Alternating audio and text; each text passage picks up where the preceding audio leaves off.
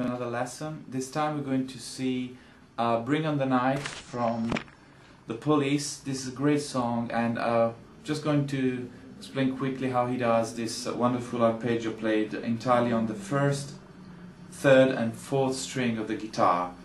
This arpeggio is based on um, fifth and sixth intervals.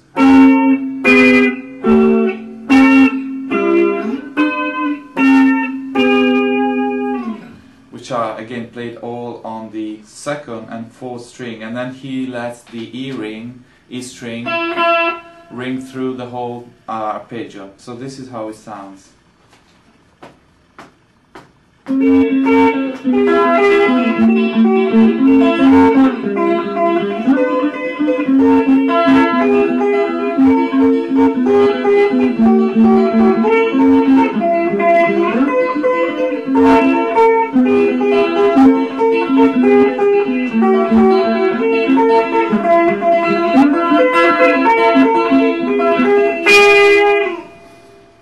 How he does it, he just employs the same uh, picking pattern actually that's a finger pattern throughout the whole thing. So first thing you have to learn is actually the position. So we start, this position is on the 10th fret, second position is here, 8th fret,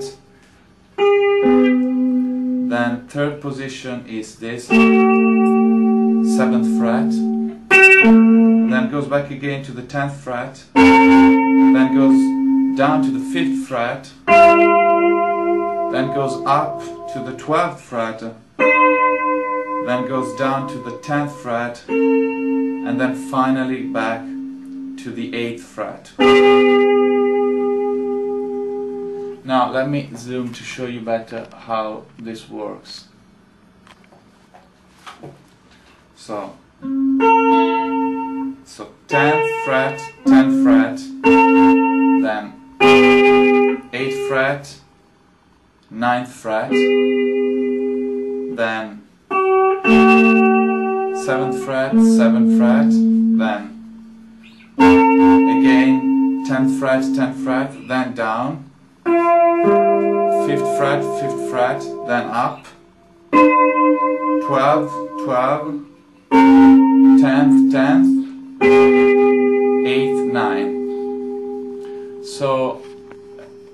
once you've learned the positions, the important part of the song is to understand how to use the right hand correctly. Now what he does is actually using every every in every position the same structure and sequence which is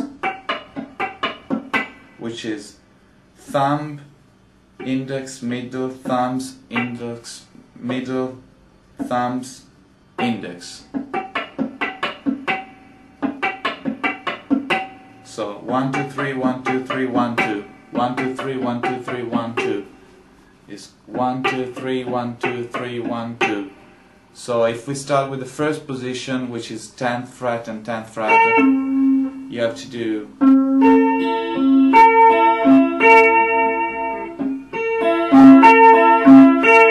So every time you pick the fourth string with your thumb, the second string with your index finger, and the uh, open E string with your middle finger.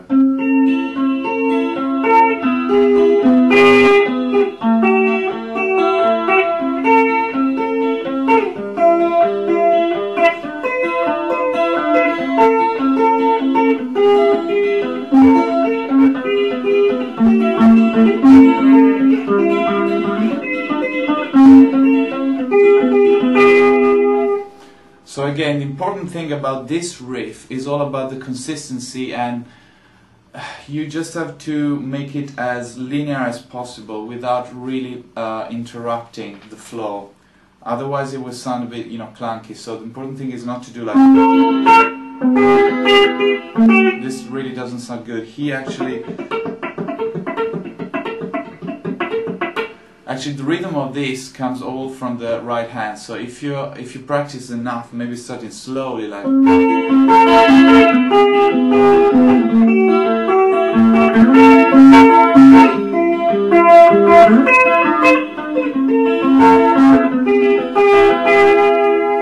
Then the left hand is quite easy. I mean, once you learned it, it's just very basic positions that you skip across the neck, and it's similar shapes. What gives the beauty to this riff is again how you manage to interact the two hands and make it very quick and smooth.